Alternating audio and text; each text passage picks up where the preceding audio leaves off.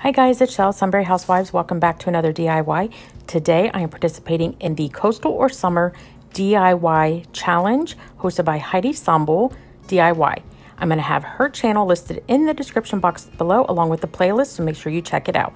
Let's go ahead and get started. Starting out with this 8x10 canvas from the Dollar Tree. I already had removed the canvas from it and um, left with the wood frame and I'm using the jumbo craft sticks from Walmart and I'm using eight total and I'm just cutting them down to be able to fit the frame. Now on the frame, I'm going to give this a whitewash. This was literally um, Waverly white chalk paint that I had watered down because I had like bare minimum left in the jar. So I just made myself some whitewash. So I'm rubbing it rubbing, wiping it on and then rubbing it off. And um, it turned out really, really nicely. The color of this canvas frame was uh, a rustic color already to begin with. And um, so it turned out really good. And I'm also using a little bit of that um, whitewash to paint up some of these beads as well. Now moving on to my sticks, I am painting each of them different, but in the same tones. So this first one I'm doing agave, and then I do wipe it off um, because I do want some of the wood grain to show through. And then the second stick, I use the agave as well, but I do add um, some of the whitewash into it so that it lightens it up and um, it's lighter in a different color than that. I didn't want two sticks to be exactly matching.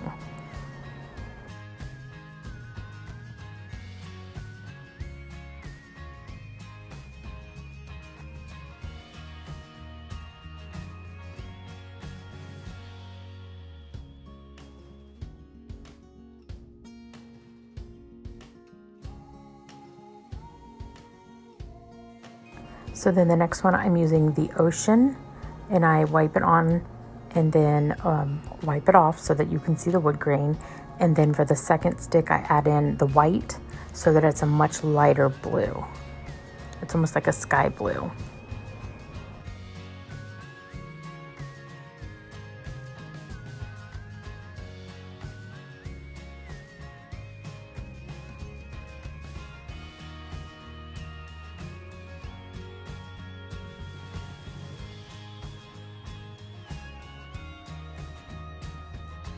And for the next set, I am using, using the mineral. And same concept, putting it on, wiping it off, and then the second stick, I am just dabbing on the mineral. And then um, going over it with the um, the whitewash. And then wiping it off. And then the final sticks, I'm using just the whitewash. Um, the one stick, I don't wipe it off immediately. I let it soak in so that I have a little bit of a darker. And then the other one, I wipe on, paint on, and then wipe right off so that I get the two different tones.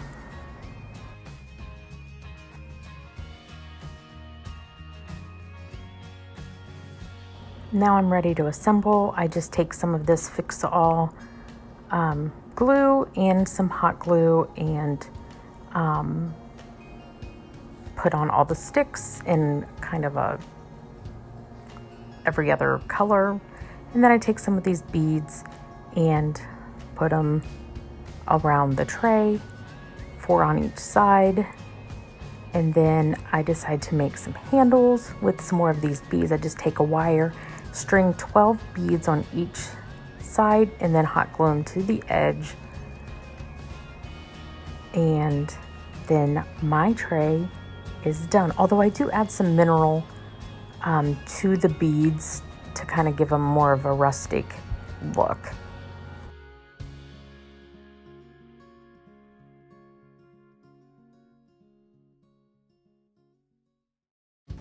All right, for my next project, I'm adding some of the ocean with some water making a stain and adding in, uh, I think 11 of the larger wood beads and then using the agave and some water and making a stain and adding in 11 more of the large beads and just mixing these up and then pouring them out onto a paper towel to let them dry.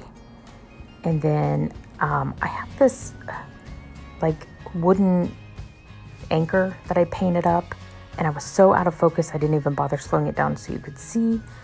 And then I just string along these beads um, in a pattern and then I added, you can see in the bottom left hand corner the anchor where I kind of did an ombre effect from agave up to the blue. And then I had these shells that I um,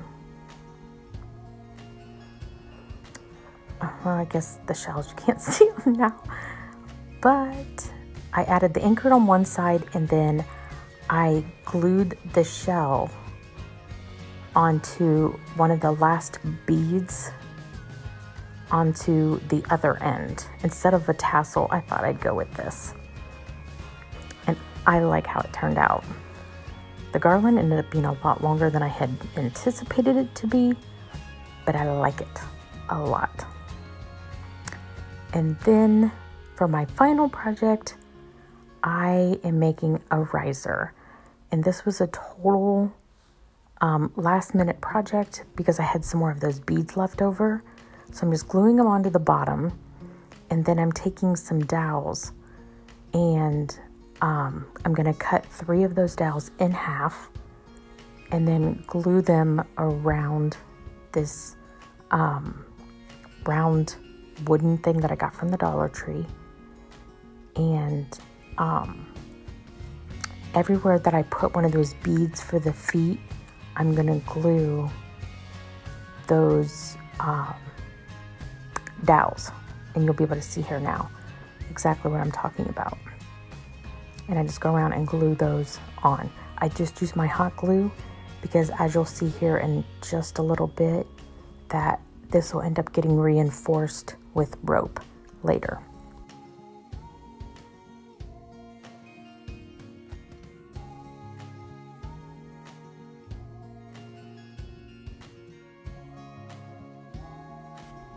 So I just add a little bit of the whitewash and then I do go in and add a little bit of the um, mineral as well, just to add a little bit of distressing and give it more of that nautical coloring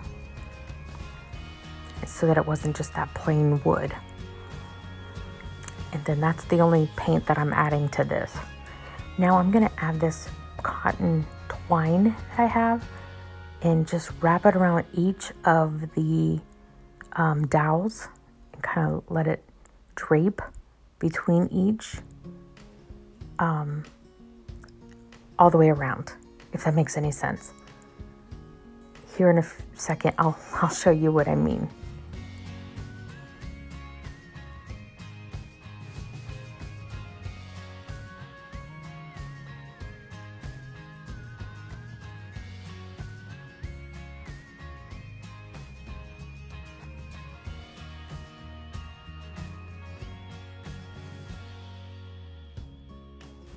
So now I'm going to go ahead and take my um, rope and just go around the base of it to hide the um,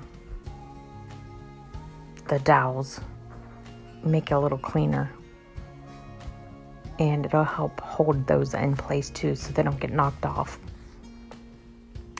And once that's done, I just glue it and cut it, or cut it, then glue it yeah, you know what I mean. it's late. So, anyway, here is my finished products. I just have one of my candles, and I love how this tray turned out. It's so simple, but I love it. And then my garland is so stinking cute. I hope you enjoyed this video. If you did, give it a thumbs up. Don't forget to check out the playlist, and I will see you guys next time. Bye, guys.